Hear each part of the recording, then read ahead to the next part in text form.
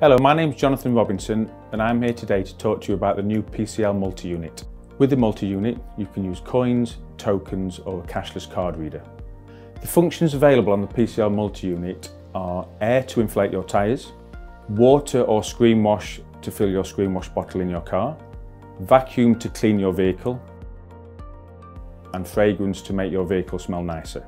The PCL multi-unit was designed by our in-house team in Sheffield, UK. We manufacture the unit in the same factory. We collate the best parts from around the world and we do all the assembly and final testing in the Sheffield factory.